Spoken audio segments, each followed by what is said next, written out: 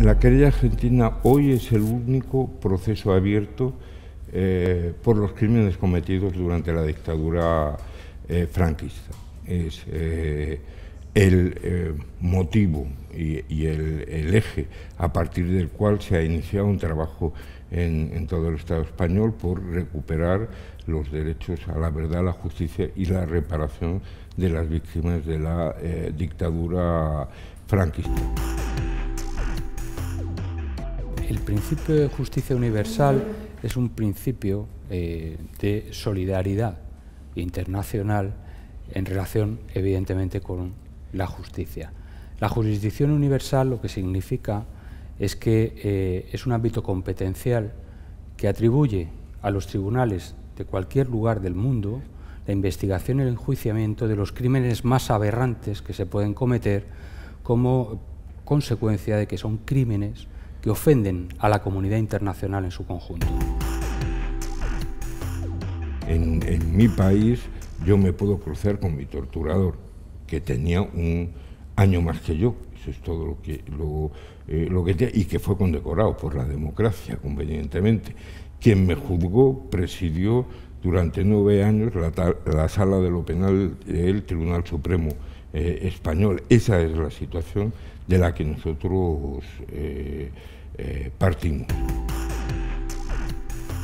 Y la querella argentina además se ha convertido en un instrumento político muy importante en nuestro país. Esto es, la querella argentina ha sido reivindicada como un instrumento eficaz en cuanto a lo que es la reivindicación de la verdad, justicia y reparación a favor de las víctimas de graves violaciones de derechos humanos en nuestro país y las fuerzas políticas eso lo han tenido muy claro. Y los jueces además se les ha puesto en situaciones sumamente incómodas, por cuanto que efectivamente existe ese manto de impunidad largamente mantenido en nuestro país que lo que pretende es obstaculizar en todo momento lo que es la investigación y el enjuiciamiento de estos crímenes contra la humanidad cometidos por la dictadura franquista.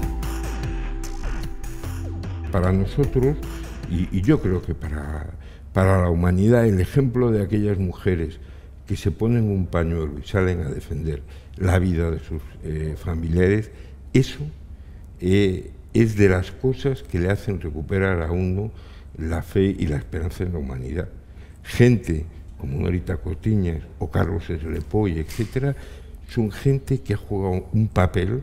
en, la, en convertir los derechos humanos en algo políticamente factible plantearse el derecho a la verdad, a la justicia y a la reparación como algo alcanzable de forma inmediata y como algo a lo que se le puede aplicar políticas concretas, es algo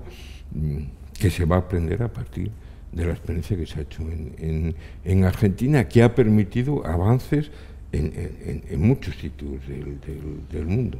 Eso para nosotros es una deuda eh, impagable.